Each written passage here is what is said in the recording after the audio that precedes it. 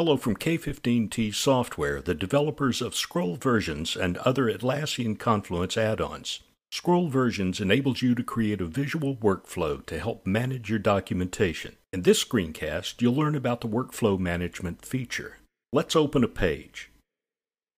This is an unmanaged page. This means no version has been assigned to it. Click Edit, change the page, and it's added to the working version displayed in the drop-down menu. Now you can change the page status.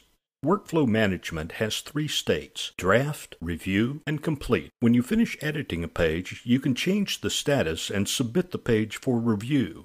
The page is then in review status. When the review is complete, you can approve the page or reject it. When you reject a page, it returns to draft status. To set the page status to complete, click Approve.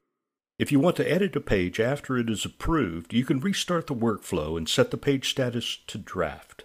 The Publish Space screen displays the states of all pages.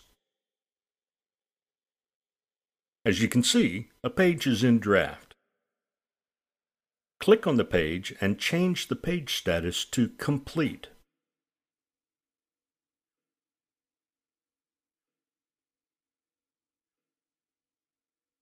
When you are satisfied with all page states, click Publish. This publishes the selected version.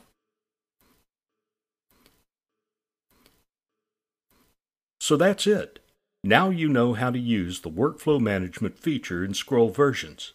If you have questions about Scroll Versions, please check the K15T website or feel free to contact us at any time.